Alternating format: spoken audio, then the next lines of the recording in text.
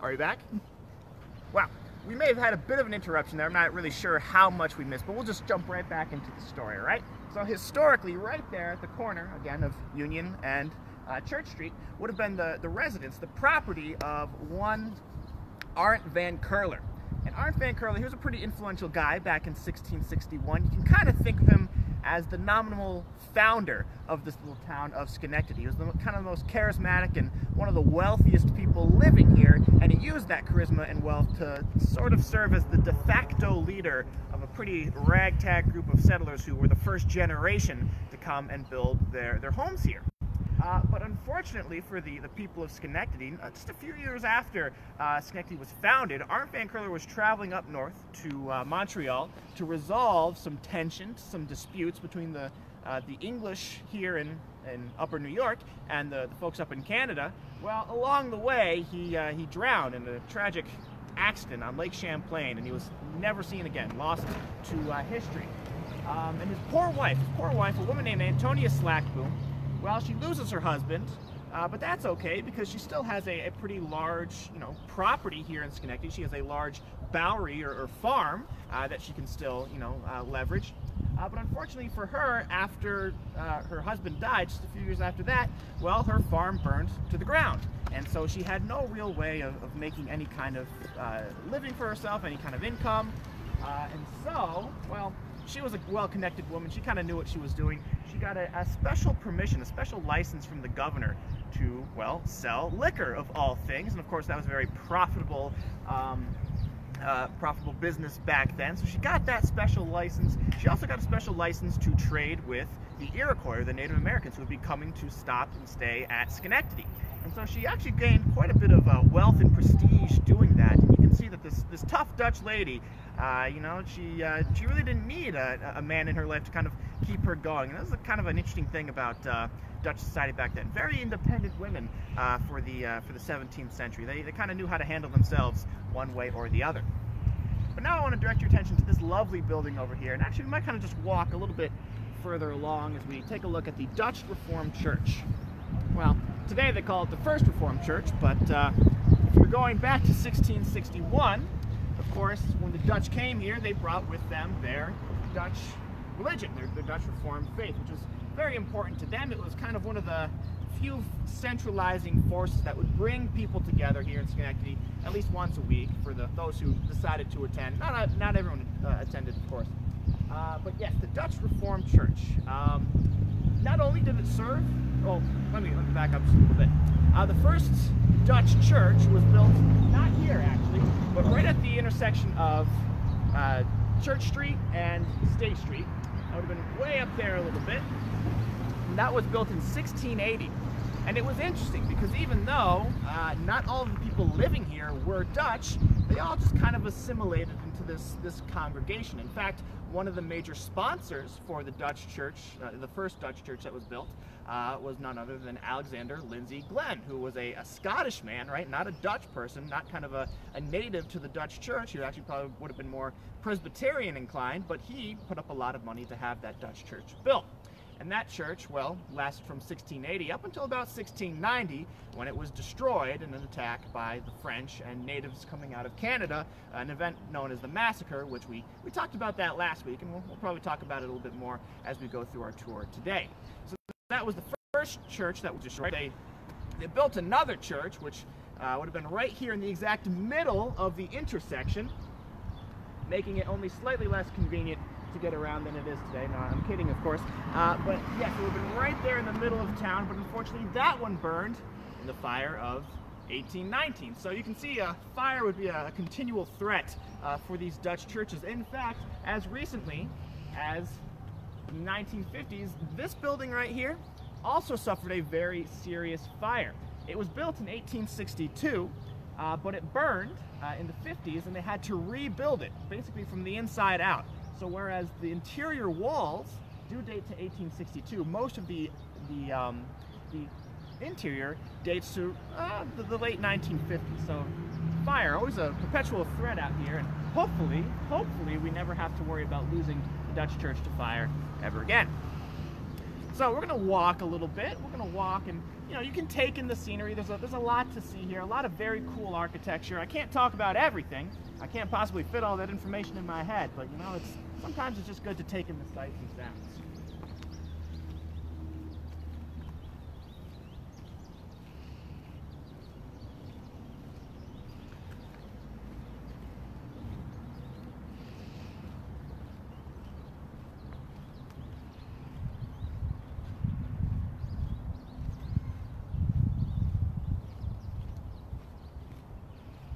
Now our next stop is going to be this, this white building right here. We're just going to go up a little bit further and check it out.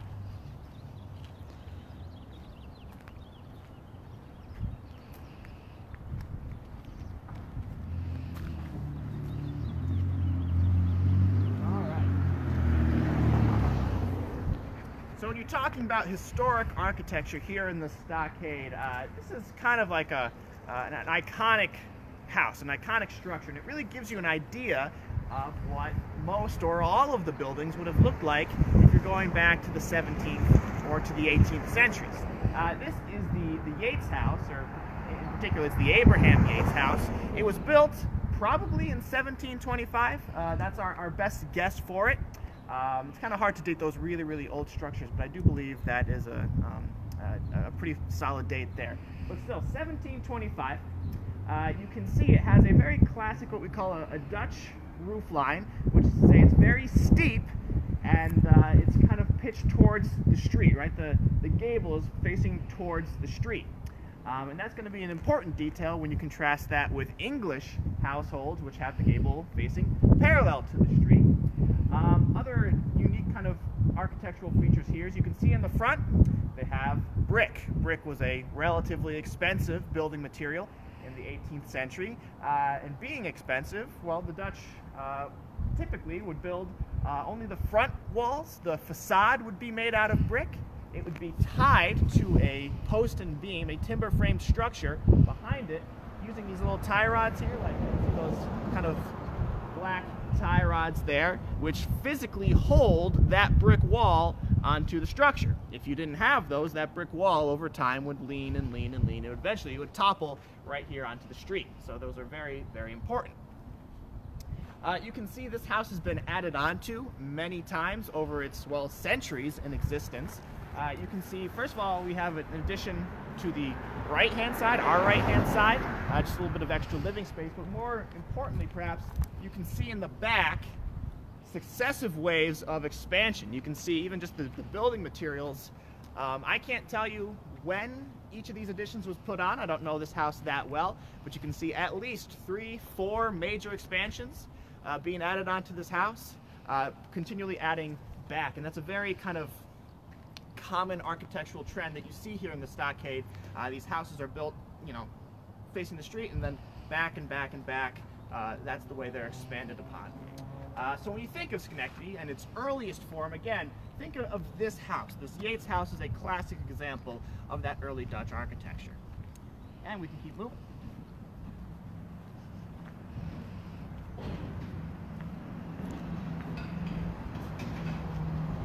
So I'll just point out some cool sites along the way.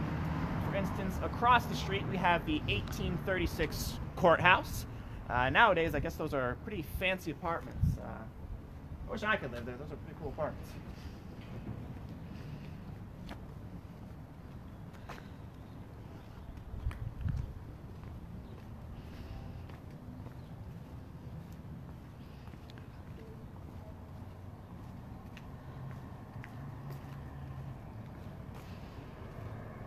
Now this might be a little bit personal, but I live in I live in that building, so there you go. That's that's clearly where only cool people live. That's the Edison building.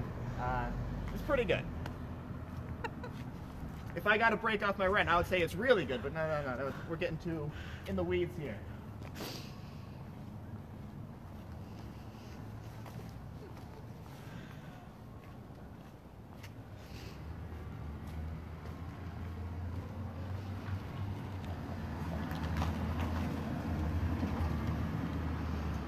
Parking enforcement, my, uh, my continual adversary living here in the stockade.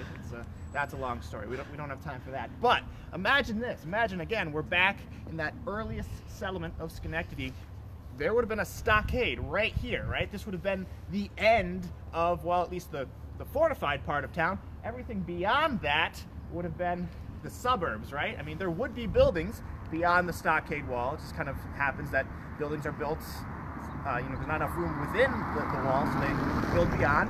Um, now this, this road right here would have continued well into what would have been woods or, you know, pine forest, which you would be able to see from here, right? Nowadays, all of that is urban sprawl. But really, you'd be able to see a very, very thick woodland uh, that would stretch between the town of Schenectady and the town of Albany. Um, so it'd be a, a much different sight for sure. Now we're going to head up this way a little bit, and we got some more things to see. Now this is uh, Ferry Street, or North Ferry Street, and this is one of my favorite spots, just to come and take a look at all the really cool architecture that we have. We've got some cherry blossoms blooming. It's a really, really great time to be hanging out in the stockade today.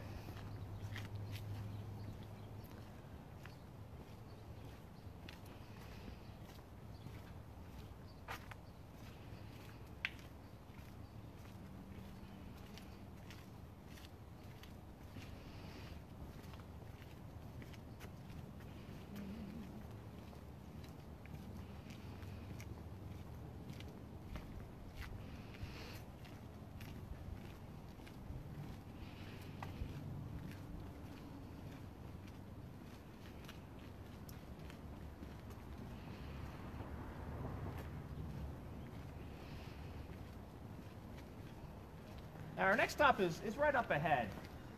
It's uh, one of my favorite buildings, I think, in the, the entire stockade. I'll watch out for that, there's a landmine.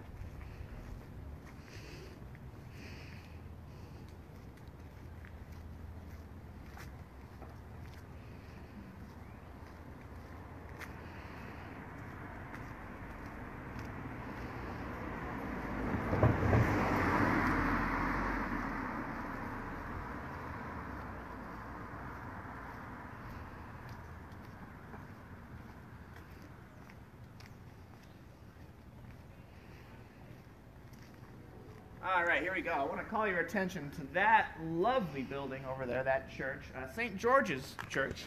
Nowadays they call it St. George's Episcopal Church, but uh, when it was built all the way back in 1762, they would have known it as the Anglican Church, right? The church for Anglicans or English folk. And that's actually very important, right? Because I, I mentioned at the beginning that this started as a Dutch town back in 1661, and it really took a, about a hundred years for there to be enough English people coming to live in Schenectady that they needed their own church. And that's actually, it's a pretty good benchmark to, to gauge the, the number of English people coming to this little town is when did they have enough people to build a church? It's a, it's a, it's a rough benchmark, but it's, a, it's an important one nonetheless.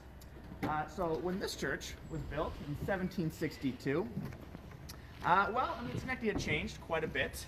Uh, with all these English people now living here, uh, you're actually starting to get uh, a little bit of kind of th those tensions that would lead up to the Revolutionary War. And in fact, when the Revolutionary War did break out, uh, you know, people were divided on whether they should, you know, side with the Patriots or side with the Loyalists, right? Who's who uh, was going to, to win the day here? And this area of town was very much known for being the kind of the loyalist part of town. You know, if you, you had those kind of sympathies, you would hang out here because the Anglican Church, being the Church of England, was very much a, a proponent or a supporter of royal authority in the colonies. And as the revolution, you know, eventually the Patriots win. If you didn't know, the Patriots always seem to win one way or the other. Um, as the Patriots uh, gained the upper hand, uh, these loyalists they knew that they had to kind of move on or, or leave. In fact, in the, the uh, aftermath of the Revolutionary War, uh, the Anglican Church, in many cases, had to rebrand itself as the Episcopalian Church to kind of, you know, remove those ties to England. It wasn't really a very uh, um, uh, socially acceptable thing back in the day. And now, whereas this church is not the oldest in Schenectady, or that's to say the, the Dutch church, the Dutch congregation preceded it, this is at least the, the oldest building, church building, that uh, hasn't suffered from any unfortunate fires. So this really is uh, a, a, really special building uh, to come and take a look at for yourself. One interesting little feature here is, and I don't know if you can see it, uh, we'll, we'll cross the street and try to take a look.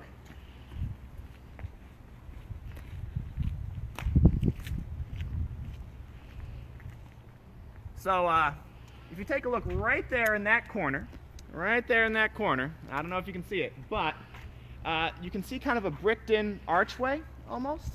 Uh, right there in the corner, and you can see that, that that wing wouldn't have been there. That would have been an entrance, a side entrance. Now, who was using the side entrance? Well, when the church was first built, uh, the English allowed the Scottish, the Scottish Presbyterians, to worship here as well. How nice of them. But in typical English fashion, they're like, oh, you Scots, you can't use the front door like us English people. You guys got to use the side door. And so they were kind of forced to this little separate entrance, and it was kind of a very tense and awkward situation. Uh, but fortunately, not too much longer after that, the, the, Scottish Presbyterians, they got their own beautiful church, which you can see back there. They, they built their own church, and they were, they were having fun out there. All right, we'll keep on moving. Got to keep on moving.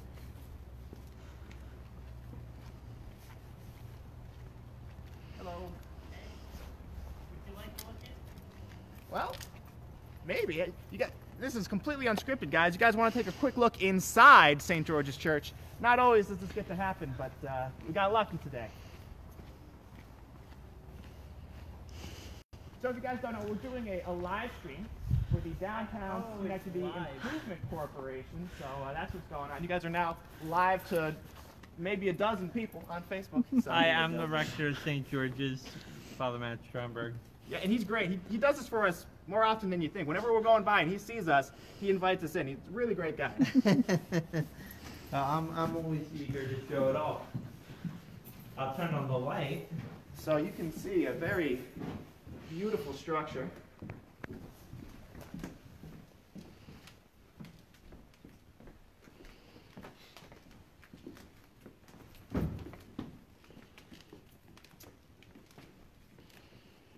Now, I'm not sure what to say about the, the interior of the structure. Rector, would you have anything to, to add or say? Well, the, the way it looks now is pretty close to what it might have looked like when it was built.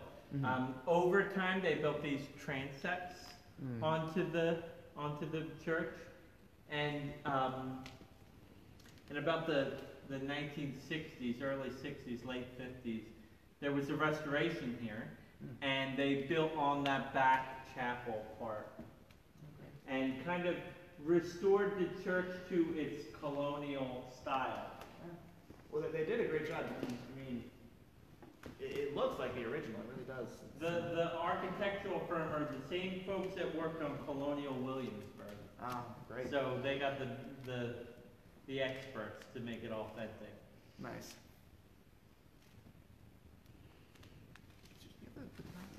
And these are the original pews with the doors. Oh, great. Do you know uh, Sir William Johnson had a pew? didn't he? Yes, he did. I imagine Uh, somewhere towards the front. Yeah, it- he is right over there, the, the, the second pew there on the second pillar. Wow. And um, we actually, we have someone working on a plaque that they're gonna make up for that. Um, we have a, a, a historian from Johnstown that, that's his, he likes to sit in William Johnson's pew. So that's how I, I, I could see him there, I'm like, that's where William Johnson's at. Would that be um, uh, Scott by any chance? No, no, Greg, Greg Thomas. Uh, I think I know Greg. Well, that was great that we got to uh, uh, Yeah, go absolutely, inside. anytime. Uh, thanks so much for, of course, doing. Oh, all right. That, that's I'm Social distancing, right? See, yeah, that's a, that's a very good illustration. Keep your social distance close.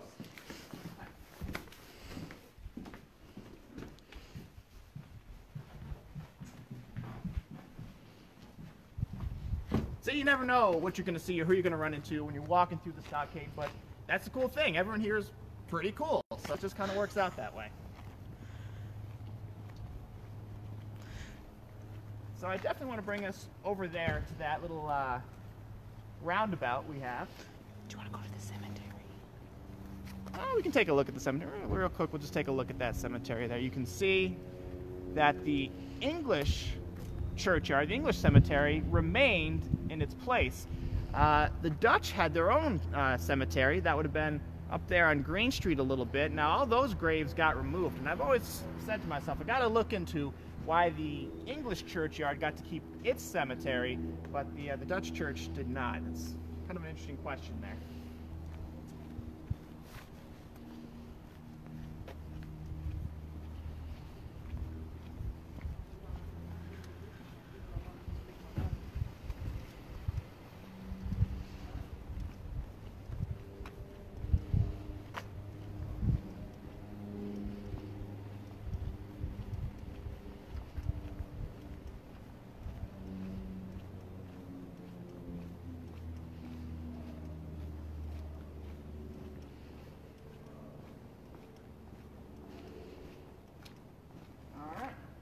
Another famous stockade landmark is this statue right here, uh, known popularly as Lawrence the Indian. Um, and this is a pretty interesting little part of town, right? Again, historically, this would have been the northeast corner of town. There would have actually been, you know, kind of a, uh, a little fort or a little blockhouse right here uh, protecting that northeast corner of town. Uh, that's, of course, long gone. In 1705, they built a more substantial fort right there on that spot. Um, but even that, again, has, well, long been, uh, been uh, taken down. Um, nowadays, you, you see the statue, and there's a bit of a story behind this statue. Um, now, after the massacre of 1690, right after the French came down and devastated the town, uh, Lawrence, he was a Mohawk man who was, well, he was pretty sympathetic to the plight of the Schenectadians. Uh, and all those uh, people who were taken captive back to Canada, about two dozen people in total taken back to Canada, uh, he decided he did his best to go up there and try to get those folks back. He led a party of Mohawk men up to Canada to try to secure the release of several of these prisoners of war. And he was successful in getting some of these people back. And kind of as a result, you know, he kind of uh, became a, a bit of a local legend. Now, I have to point out, though, that this statue is not really a statue of Lawrence. Even though it's called Lawrence, kind of in his memory, um, it was actually erected there in the 1870s. Uh, the statue actually came out of a catalog. It was just a generic Indian statue that would be sold to, of all people, tobacconists, tobacco stores would have this Indian out front to just kind of sell their wares.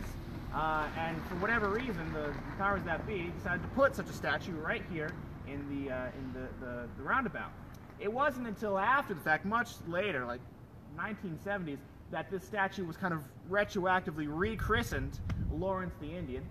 Uh, I don't know if that you know does justice to his memory or not. It's, it's kind of an interesting question about whether that does a, a good job of kind of remembering the actual historical figure uh, who made a, his mark on Schenectady all those years ago.